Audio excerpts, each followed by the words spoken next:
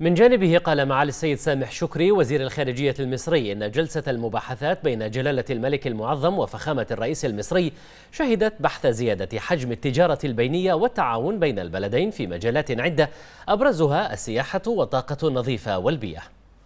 شهدت الزيارة مباحثات مثمرة ومعمقة بين قيادتي البلدين في مختلف المجالات حيث تمت مناقشة العلاقات الثنائية بين البلدين وسبل تعزيزها ودعمها خاصة في جانبها الاقتصادي.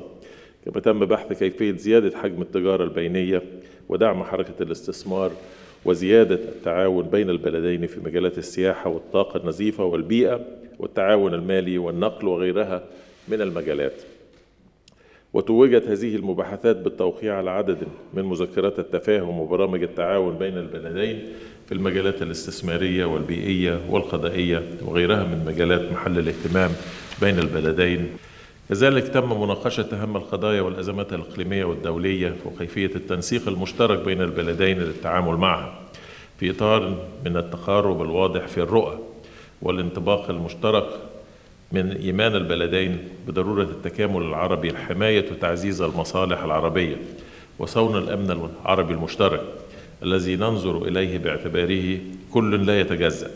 بما يستلزم تضافر كافة الجهود والقدرات العربية للدفاع عنه وحمايته أمام مختلف المهددات.